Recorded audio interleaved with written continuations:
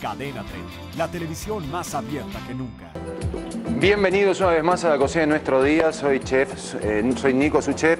Tenemos hoy un pescado, un filete de pescado relleno con mariscos, una delicia, pero trae una salsa que tiene dos partes. ¿Cuál es la primera? Lo que utilizamos es los jitomates, ¿sí? que previamente están cocidos. Ahí los vamos poniendo. Muy bien. Después el apio, también previamente cocido y pelado. Y chile poblano.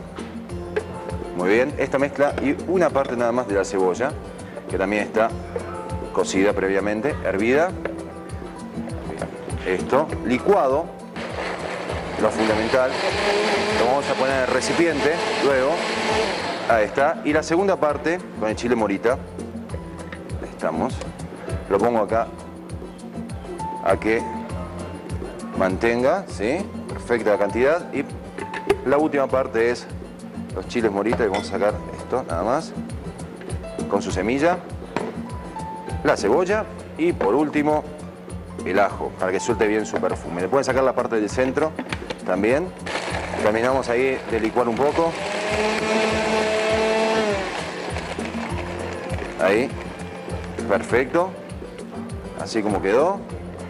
Lo que hacemos es lo pasamos. Una parte aquí, bien, para que se vayan asentando y la otra parte la dejamos. Ya tengo una preparada para ganar tiempo, bien, y eso, por ahí, por ahí, bien. Y limpieza, siempre es fundamental. Bien, siguiente paso. Esto lo vamos a llevar a sofreír. Vamos a agarrar el filete de pescado con las tiras de tocino, bien rico, ¿sí? El tocino le va a dar esa textura, también ese crocante. La ponemos una, este es un tip para que usted lo pueda enrollar bien fáciles. Una tira atrás al lado de la otra, en la base y después el pescado de arriba. Bien, tenemos aquí. Puede ser pescado de su preferencia, no hay inconveniente. Un buen filete. Se lo pongo. Ah, qué rico esto. Qué delicia, qué delicia. Ya tengo preparado lo que es mis parte de relleno también. ¿Cómo lo voy a hacer? Es en el Inter para tener algo también crocante. Plátano frito. ¿Sí? Uno más. Vamos a poner aquí todos. Perfecto. Ya tengo aquí los ingredientes de lo que va a ser mi salsa. Compuesto de relleno también. Podemos a sofreír el plátano con el camarón, con el pulpo. Sí, ahí. Y apenas un poquito de aceite de olivo, nada más, con el fumet de pescado, con el caldo de pescado. Ahí, ponemos, vaya reduciendo. Bien, muy bien, qué delicia, los perfumes. Háganse amigos también un poquito del pescado porque muchas veces nos puede dar la sensación de que los aromas, los perfumes, un salmón que cuando la piel empieza a soltar y a tener más nivel más crocante, ahí le vamos a soltar un poquito más para perfumarlo. Nos puede ser un poco enemigo de los aromas en la casa también. Lo dejamos acá reducir y que vaya soltando su aroma. Entonces vamos a seguir con esta parte. Un poquito de sal, siempre. Ahí, para rectificar. Y relleno, delicia. Ah, el perfume del plátano es lo que va a resaltar esa parte dulzor. Secreto, no es mucho relleno, ¿sí? es la mitad de una cuchara sopera. Le vamos poniendo un poquito, como por partes, y lo vamos a empezar a enrollar como si fuera un sushi también, con los dos, con los dos dedos hacia atrás. Ahí. Ahí. Porque si no se va a desbordar y se les puede abrir también el centro. Ahí estamos. Es una forma distinta de comer un pescado relleno. Es algo que le podemos ir variando también a nuestros alimentos. Bien, entonces, ¿cuál es el secreto? Ahí está. Tenemos aquí las tres tiras.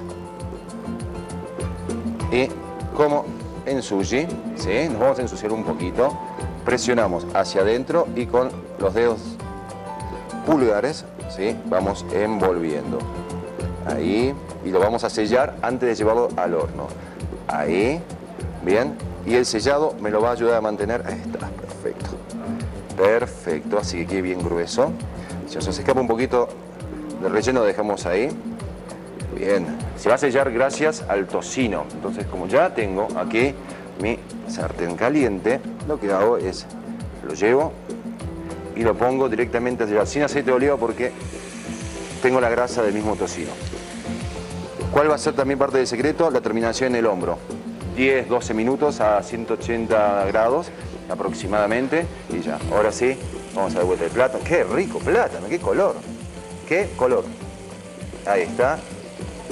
Bien, para tener también esa textura crocante en la, boca cuando estamos, lo estamos llevando.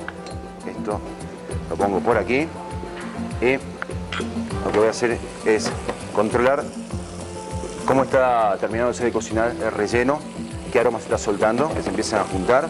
Y por último la salsa, que es, voy a hacer un espejo, lo voy a pintar y también lo vamos a poner a peñitas por arriba. El plátano ya está, lo que hago es directamente apagarlo.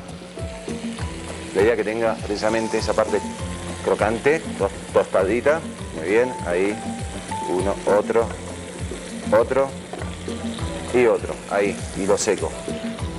¿Qué voy a hacer? con el pescado, ahí está. ¿Ven el color? ¿Cómo va, quedando?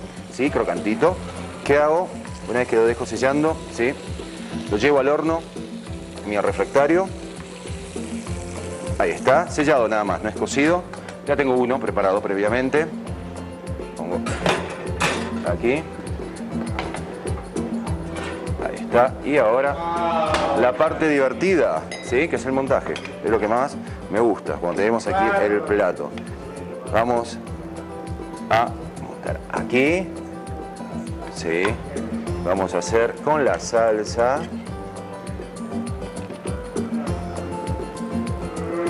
Un espejo. Lo ponemos a penitas. Ahí, nada más. Sí. Y por último, para decorar, ¿qué tenemos Cris aquí? ¿Qué tenemos Cris aquí? Plátano. ¿Sí? Ahí le ponemos platanitos.